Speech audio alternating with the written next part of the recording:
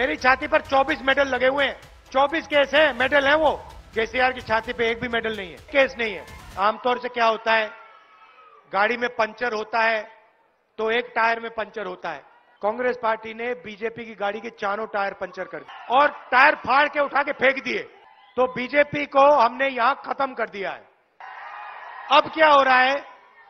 अब ये तीनों पार्टियाँ बीजेपी केसीआर और एमआईएम एक साथ मिल गई है। बीआरएस लोकसभा में नरेंद्र मोदी की मदद करती है। आप कहोगे, कैसे? आप कहोगे, हाउ? जीएसटी में मदद की, नोटबंदी में मदद की, किसान बिल में मदद की।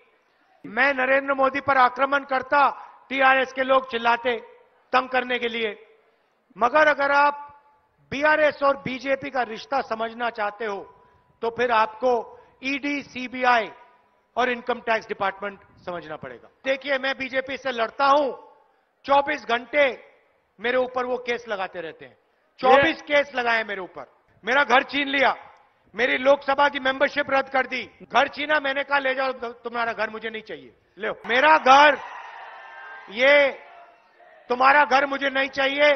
मेरा घर हिंदुस्तान के करोड़ों गरीबों के दिल के अंदर है। बीआरएस के नेता केसीआर पर एक केस नहीं है। ना सीबीआई ना ईडी ना इनकम टैक्स मेरी छाती पर 24 मेडल लगे हुए हैं। 24 केस है मेडल है वो।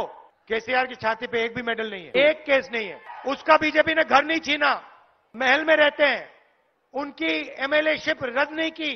पूरी मदद केसीआर की नरेंद्र मोदी करता रहता है। कोई केस नहीं केस कोई धमकी नहीं। पूरी की पूरी मदद उस साइड से करता है। लोकसभा में देश में केसीआर उनकी मदद करता है तेलंगाना में मोदी इनकी करता है। मेरा लक्ष्य सबसे पहले तेलंगाना में बीआरएस को हराने का है। वो आपका भी लक्ष्य है मगर मेरा दूसरा भी लक्ष्य है। तेलंगाना के बाद हम नरेंद्र मोदी को जाके नेशनल लेवल पे हराने जा रहे हैं। हम उसको नहीं छोड़ने वाले क्योंकि ये पार्टनरशिप है नरेंद्र मोदी की और बीआरएस की केसीआर की। केसीआर चाहता है कि दिल्ली में नरेंद्र मोदी रहे तेलंगाना में वो रहे। नरेंद्र मोदी चाहता है तेलंगाना में केसीआर रहे दिल्ली में वो रहे। कांग्रेस पार्टी दोनों को हराना चाहती है। कांग्रेस पार्टी सच्ची लड़ाई कांग्रेस पार्टी से है। ये दोनों दोराला सरकार चलाते हैं हम प्रजाला सरकार चलाना चाहते हैं। वो अदानी की चलाता है और ये यहाँ पे अपने परिवार की चलाता है। एक तीसरी पार्टी है एमआईएम इनको आप देखिए जहाँ भी कांग्रेस पार्टी बीजेपी से लड़ती है वो अपने कैंडिडेट डाल देते हैं। असम में इनका कोई कोई वोट नहीं है मगर आपको सारे के सारे कैंडिडेट मिलेंगे। राजस्थान में मिलेंगे गोवा में मिलेंगे राजस्थान प्रदेश में मिलेंगे। जहाँ भी कांग्रेस पार्टी बीजेपी से लड़ती है वहाँ एमआईएम इनकी मदद करती है।